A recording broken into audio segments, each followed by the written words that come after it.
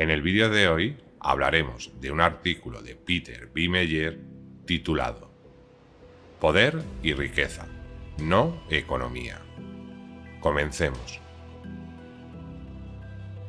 Parece incomprensible.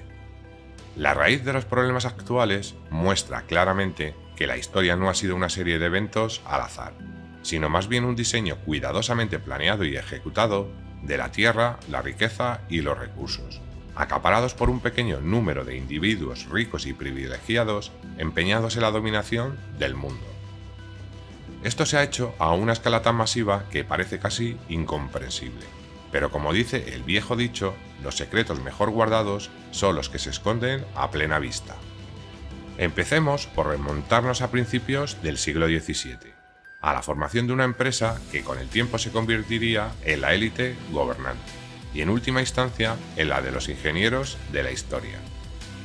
En el año 1600, la reina Isabel I presentó una carta constitutiva a la Compañía de las Indias Orientales, la historia nos dice que su objetivo era establecer relaciones comerciales con el mundo oriental, es decir, con la India y China.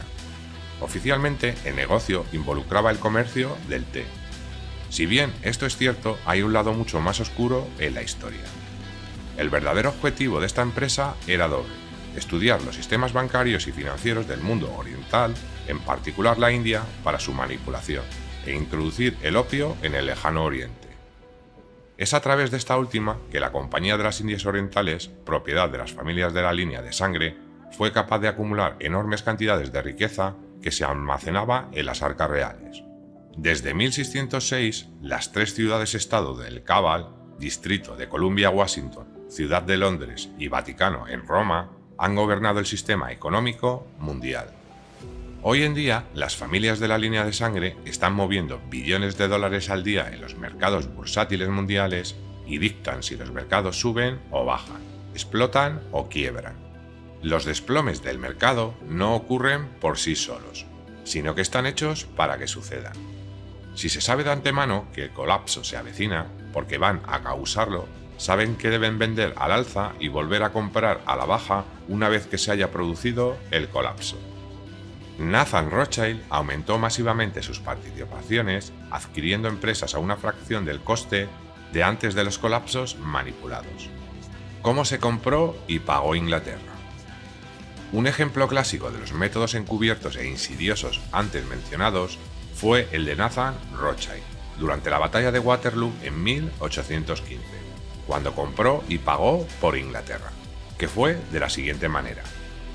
En la madrugada del 20 de junio de 1815, Nathan Rothschild, uno de los cinco hijos de Mayer Ansel Bauer, llevó a cabo uno de los planes financieros más taimados de la historia, para apoderarse de la bolsa de valores.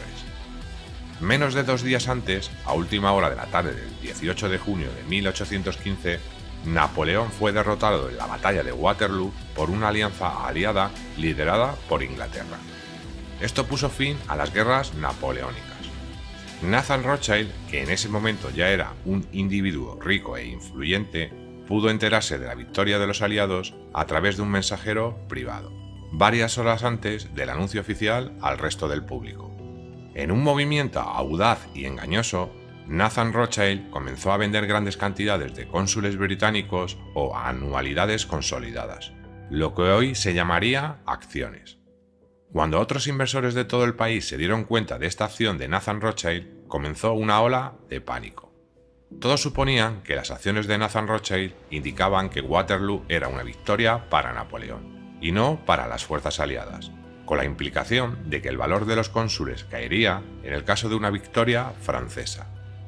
Un gran número de personas siguieron el ejemplo, vendiendo los cónsules en previsión de una toma del país por parte de Francia.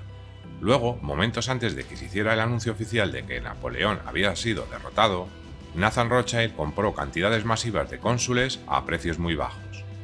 El anuncio fue hecho, el valor de los cónsules se disparó y Nathan se encontró con un aumento de riqueza de 6.500 veces más de lo que había poseído anteriormente. En esencia, había robado a los ciegos del país y se convirtió a todos los efectos en el dueño de la mayor parte de Inglaterra.